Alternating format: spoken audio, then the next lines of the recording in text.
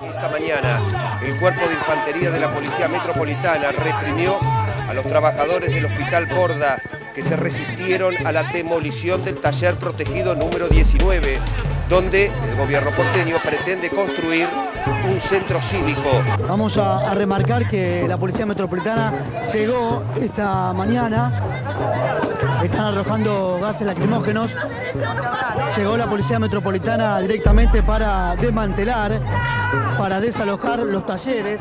Lo que la sociedad tiene que preguntar es si para hacer un edificio público, una oficina para el jefe de gobierno, es necesario desalojar un hospital de salud mental como es el Borda, que atiende pacientes en el sistema más menos inhumano como son los talleres protegidos y además reprimir cuando los trabajadores y los pacientes se oponen a esa decisión.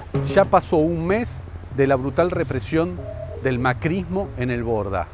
Los medios están en otras historias, pero los pacientes, los profesionales y todos los que vienen a colaborar diariamente al Borda siguen sufriendo la falta de respuestas. Soy Rafa Gentili, diputado de la ciudad, y te voy a contar por qué en un mes no se hizo nada.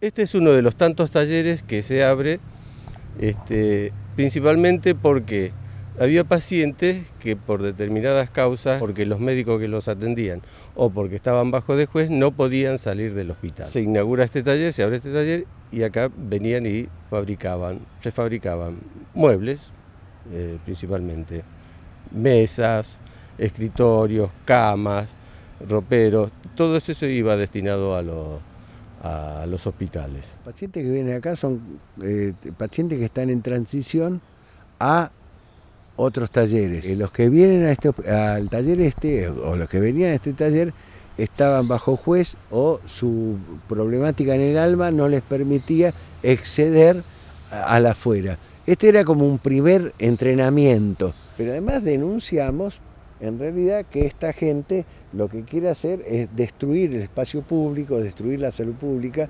transformar esto en un gran negocio inmobiliario. Nosotros le decimos a Macri, se lo decimos siempre, ¿quiere construir un centro cívico? Hágalo, tiene un montón de lugares para hacerlo. Gastar millones de pesos del presupuesto de la ciudad en la construcción de oficinas públicas ciertamente no nos parece la prioridad. Y hacerlo en los terrenos del Borda, menos aún.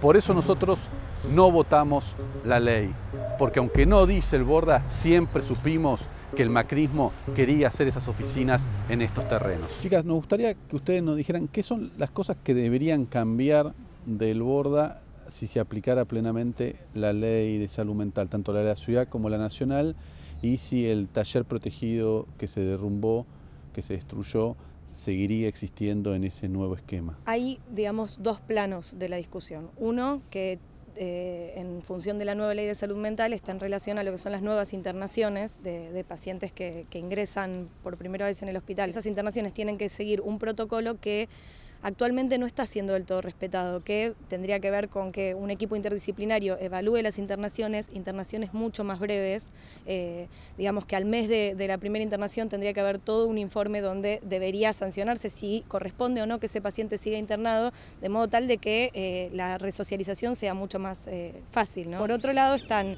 las internaciones con, la, con, las que cuenta actualmente el hospital, que son internaciones de algunas más de 40 años, con lo cual, digamos, el modo de operar con ese tipo de, pacientes siempre va a ser otro. ¿no? En ese punto, los talleres protegidos eran eh, una, herramienta importante porque eh, para los pacientes que tenían todavía posibilidades de ser resocializados, era un, una herramienta. ¿no?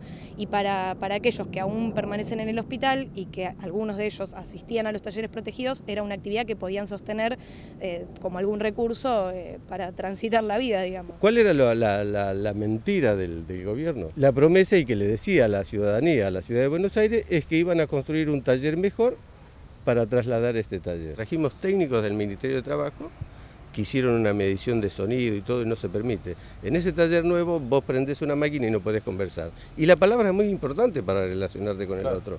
Bueno, si tenés que gritar ya, no te, ¿no? Claro. ya no te relacionás, gritás. No, no, vos sos un trabajador, un militante con la piel curtida de muchos años, de peleas, de muchas batallas. Eh, ¿Cómo le impactó a ustedes y a vos personalmente esto que sucedió hace un mes? Mirá, eh, te voy a contar una cosa. Yo pude venir después de dos días acá.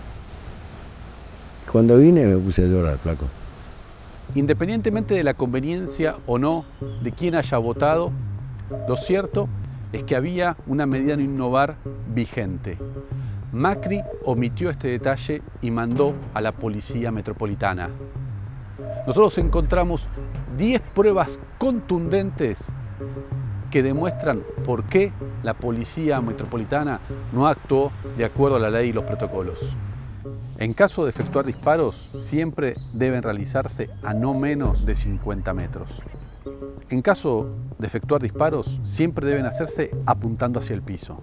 Debe haber un funcionario público identificado como responsable de las acciones vinculadas con el operativo. Se debe generar un proceso progresivo de intervención que contemple el diálogo y la canalización de la demanda sin violencia prohibición clara de portación de armas de fuego para el personal policial afectado. Identificación clara de todo el personal. Prohibición de usar armas de fuego para amenazar manifestantes, no apuntar. Distancia prudente del personal policial respecto de la manifestación. Protección especial para personas con capacidades diferentes, asegurando todas las medidas para garantizar su seguridad respeto y protección de la actividad periodística, quedando prohibida la detención de quien la ejerce. Como ven, pasó un mes y no hay respuesta del macrismo a ninguno de estos puntos. ¿A quién, ordenó la represión? Los policías responsables de haberse excedido y pegarle a periodistas, a pacientes, a médicos, a legisladores. No hay fecha para la reconstrucción del taller 19 ellos callan y hablan de otros temas. Mientras hay una comunidad en el Borda que está sufriendo. Hacé circular esta información, retuiteala, posteala en Facebook, mandásela por mail a tus amigos. Es la única forma de presionarlos para que el cambio sea posible.